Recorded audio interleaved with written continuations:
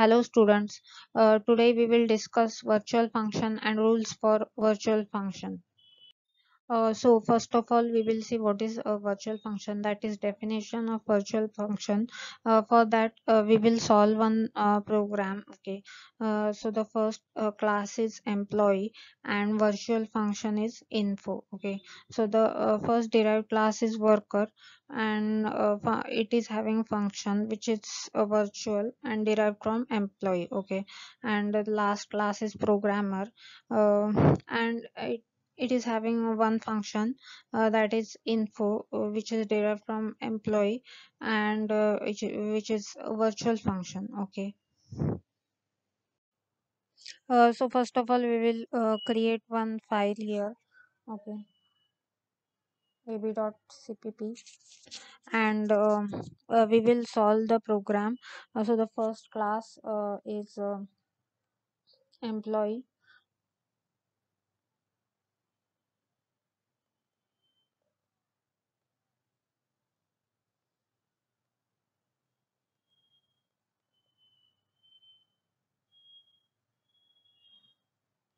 okay.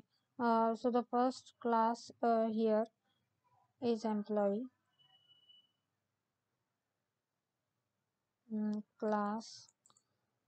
I will write emp okay.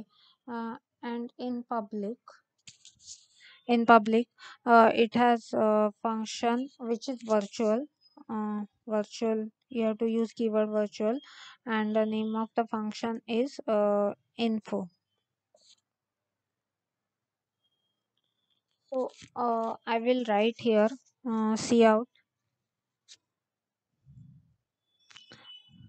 in emp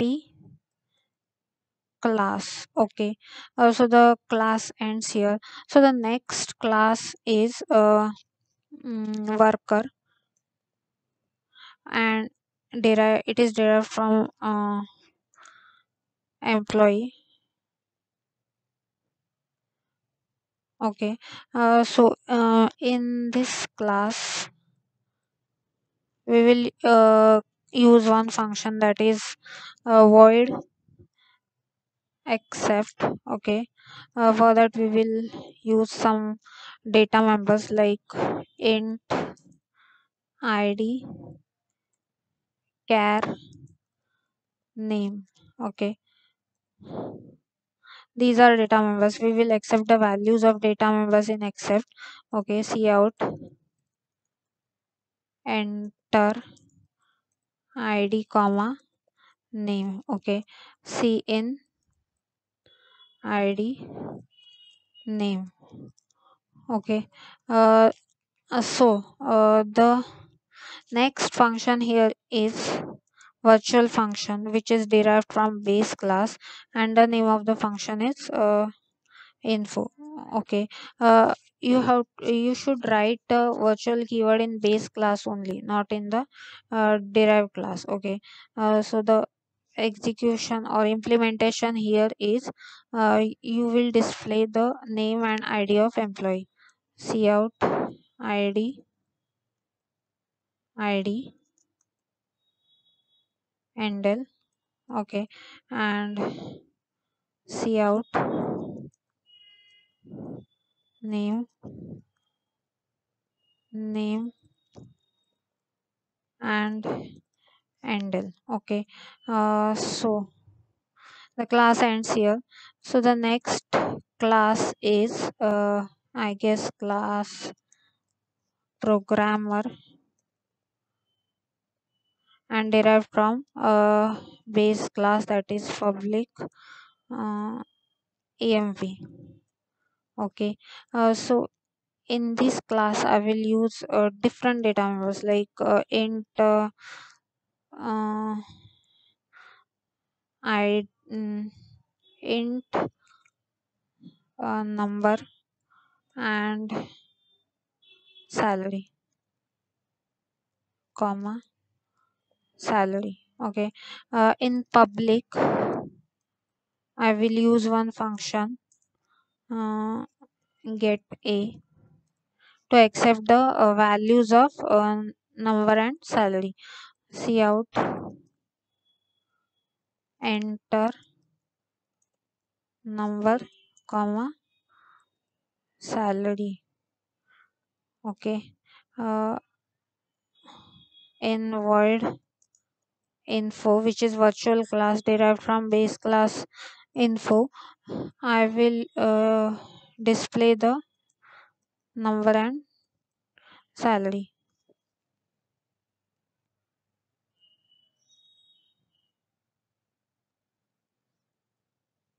See out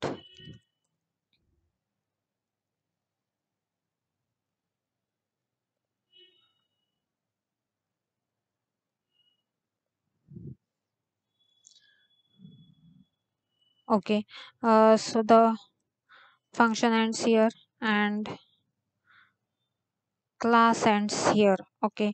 Uh, so last is a, a word main like int main. Okay. Uh, in which you must create object of uh, sorry pointer of base class. So the base class is uh, emp and i will create pointer of base class that is p okay. And uh, object of derived class. So derived class here is worker and object is w. So p is having address of uh, w. Okay. And by using the pointer we will access the functions. Okay. So p arrow um, info which is uh, uh, virtual function. Uh, since uh, info is virtual function and uh, overridden function we, can access by using the pointer.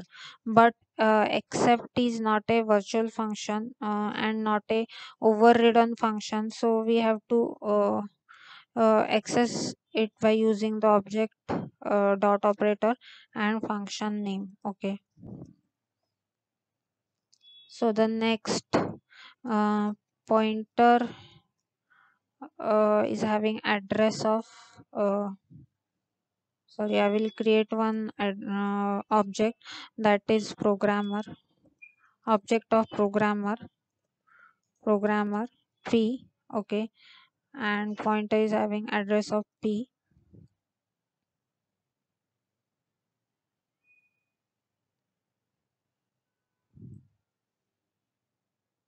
okay. And I will create another object since P and P are colliding. I will create object of program as a R and R P is equal to address of R. And uh, since the get a function is not a virtual function not oh, not even overridden function so we have to uh, call it by using object uh, and dot operator get a and R uh, sorry P arrow info. Okay. Let's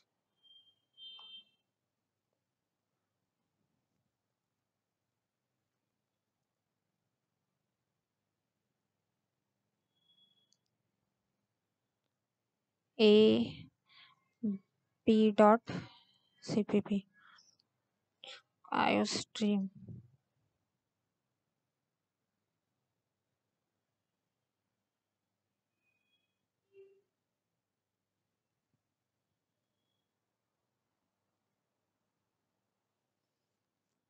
enter salary oh.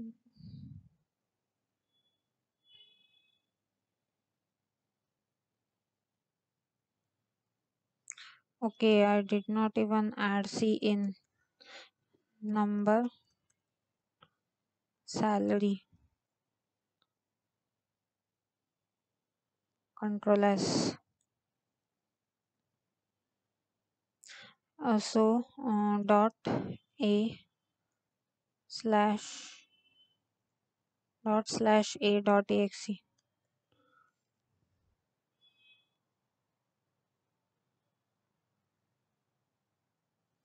ठीक है।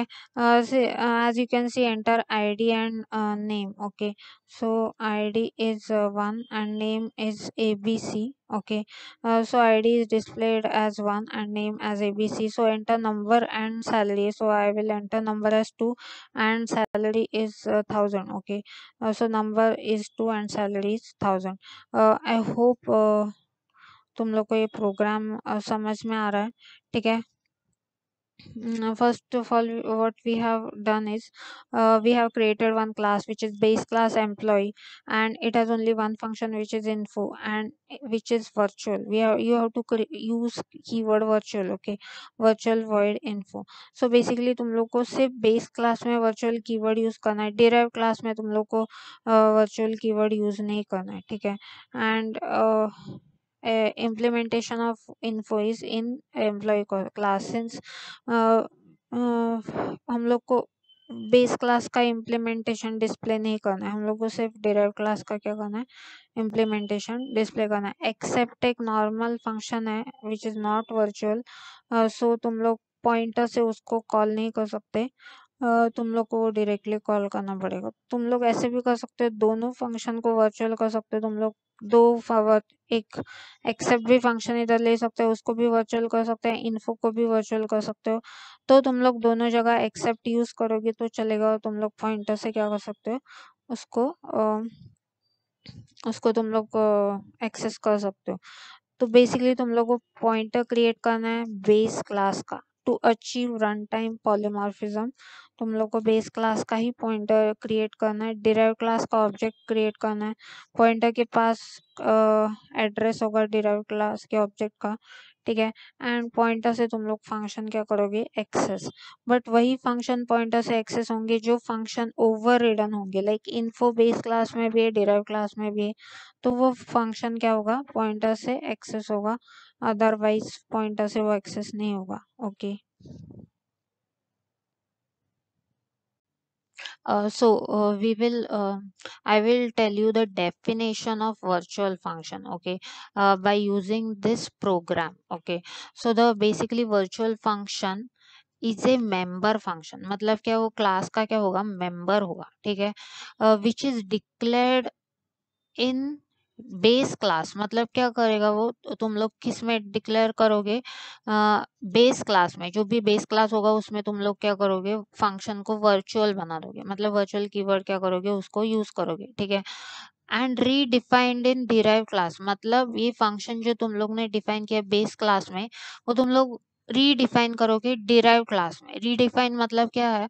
इधर तुम लोग ने define किया है but with keyword virtual वो तुम लोग वापस से डिफाइन करोगे डिराइव क्लास में। वापस इधर वर्ड इन आया। विथ सेम सिग्नेचर हाँ without any parameters and same signature मतलब लाइक इधर वर्ड है तो इधर भी क्या होना चाहिए? वॉइड होना चाहिए। इंट नहीं होना चाहिए या फ्लोट नहीं होना चाहिए, ठीक है? सिग्नेचर दोनों का क्या होना चाहिए? सेम होना चाहिए, ठीक है? मतलब क्या बोला वॉट डिड ऐसे virtual function is a member function declare in base class and redefined in derive class base class में तुम लोग ने डिक्लेयर किया एंड डिराइव क्लास में रीडिफाइन किया, ठीक है? When you want to refer refer to a derived class object मतलब क्या है कि तुम लोग जब भी डिराइव क्लास के ऑब्जेक्ट से रिफर करोगे and by using the reference और pointer of a base class मतलब डिराइव क्लास का ऑब्जेक्ट एंड पॉइंटर क्या होगा बेस क्लास का then you can call the virtual function for the derive class मतलब क्या होगा तुम लोग वर्चुअल फ़ंक्शन कॉल कर सकते हो तभी एंड तुम लोग डिराइव क्लास का वर्जन डिस्प्ले कर सकते हो। वर्चुअल फ़ंक्शन का डिराइव क्लास का वर्जन ठीक है? कभी जब भी तुम लोग when you will create the pointer of a base class and object of a derive class then then you can call the virtual function for the derive class and वो क्या डिस्प्ले करेगा? डिराइव क्लास का version of a virtual function derive class का version मतलब क्या है? Info का तुम लोग के पास बेस क्लास का भी वर्जन है जिसमें क्या लिखा है? सिर्फ़ इन employee class okay and derive class का भी वर्जन है जिसमें नेम आईडी नेम डिस्प्ले हो रहा है या number number and salary display हो रहा है। ये डिराइव क्लास का वर्जन है वर्चुअल फ़ंक्शन का। तो वो कभी डिस्प्ले होगा when you will create pointer of a base class and object of a derived class. And by, using the pointer you can uh, display the uh, derived class version of a virtual function. Okay. I hope tum logo samajh mein aa raha hai so basically virtual function is nothing but uh, it is a member function. Okay. And it is declared in base class and redefined in derive class. Base class में इधर क्या किया तुम लोगों ने? Virtual keyword के साथ declare किया एंड रीडिफाइन किधर किया? डिराइव क्लास में। And when you want to access the derive class version of a virtual function, you will have to create pointer of a base class, object of a derive class and by using the pointer you can access the derive class version of a virtual function. Okay.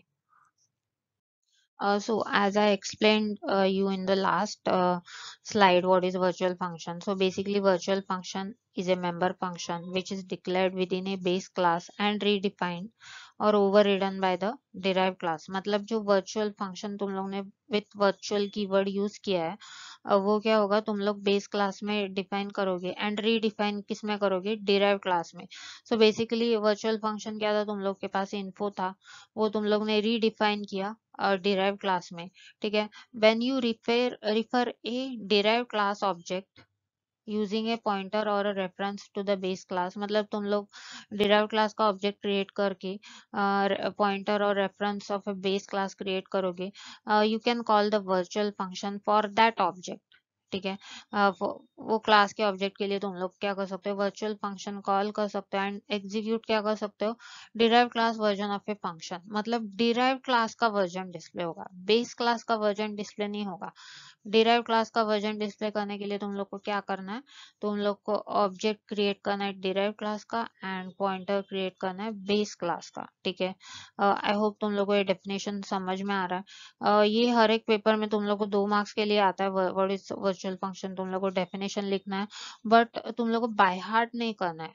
वो तुम लोग को programme देख के अपना खुद का definition तुम लोग ओन वर्ड्स में लिख सकते हो बट uh, uh, ये पॉइंट्स आने चाहिए कि डिफाइन uh, करोगे तुम लोग बेस क्लास में रीडिफाइन करोगे डिराइव क्लास में and if you want to display the derive class version of a virtual function you have to create object of derive class and pointer of a base class okay. Uh, so now we will discuss the last point of virtual function that is rules for virtual function okay so कभी कभी exam में कैसे होता है since virtual function का uh, difficult uh, to write uh, so uh, कभी कभी तुम लोग को फोर मार्क्स के लिए rules for virtual function ऐसा क्वेश्चन आता है एक दो पेपर में आया भी है okay so will see what is what are the rules for virtual function okay uh, so the first rule here is uh, they must be declared in public section of a ठीक है virtual function तुम लोग को private में नहीं रखना since private में रखोगे तो वो inherit नहीं होगा और तुम लोग उसको uh, redefine नहीं कर सकते okay Uh, so it must be in the uh, declared within the public section okay. Uh, so the second rule is virtual function cannot be static and also cannot be a friend of a, a friend function for of another class okay. So a friend function kya hota hai ki uh, tum log uh, it is a non member function but जब भी तुम लोग virtual function call करते हो तो तुम लोग को क्लास का ऑब्जेक्ट क्रिएट करना पड़ता है एंड पॉइंटर भी डिफाइन करना पड़ता है बेस क्लास का पॉइंटर से तुम लोग को एक्सेस करना पड़ता है. बट फ्रेंड फ़ंक्शन क्या होता है कि since it is a non member function वो तुम लोग ऑब्जेक्ट से कॉल नहीं कर सकते. इसलिए क्या होता है Hmm, कि it can not be a friend function of another class okay and can not be static static function भी कैसा होता है? Uh, स्टैटिक फ़ंक्शन तुम लोग ऑब्जेक्ट से कॉल नहीं कर सकते वो क्लास uh, नेम से कॉल होता है ठीक है? इसके लिए वो क्या होगा? वो स्टैटिक भी नहीं हो सकता ठीक है? Uh, next uh, rule is virtual function should be accessed uh, using pointer or reference of a base class type to achieve a runtime polymorphism मतलब तुम लोग को क्या करना पड़ेगा? बेस क्लास का पॉइंटर क्रिएट करना है, ठीक है? To achieve run time polymorphism ठीक है? तुम लोग डिराइव क्लास का भी कर सकते हो बट वो फिर वर्चुअल फ़ंक्शन नहीं होगा। वो रन टाइम पॉलीमॉर्फिज्म नहीं होगा। वो रन टाइम पॉलीमॉर्फिज्म अचीव करने के लिए you have to access the virtual function by creating the pointer of a base class, okay? Uh, so the next rule is the prototype of virtual function should be same in the base as well as derived class uh, prototype मतलब क्या होता है कि like uh, तुम लोग ने base class में उसको void create void create किया है फ़ंक्शन को तो derived क्लास में भी वो फ़ंक्शन void ही चाहिए विथ सेम सिग्नेचर ठीक है लाइक uh, उसमें पैरामीटर्स नहीं चाहिए या फिर जैसे ही तुम लोग ने वर्चुअल फ़ंक्शन बेस क्लास में डिफाइन किया सेम वे तुम लोग क्या करोगे? डिराइव क्लास में यूज़ करोगे। उसका तुम लोग सिग्नेचर या फिर रिटर्न टाइप चेंज नहीं कर सकते ठीक है? उसको बोलते हैं prototype so the second last rule is uh, they are always defined in base class and overridden in derive class always तुम लोगों को बेस क्लास में वो डिफाइन करना है function virtual and derive class में क्या करना है? ओवर करना है. It is not mandatory for derive class to over like like हम लोग ने एक्सेप्ट फ़ंक्शन किया था वो आ, मतलब बेस क्लास में नहीं था सिर्फ़ डिराइव क्लास में था। या ऐसे भी फ़ंक्शन हो सकते हैं जो बेस क्लास में है बट डिराइव क्लास में ओवरराइड नहीं हुआ है ठीक है?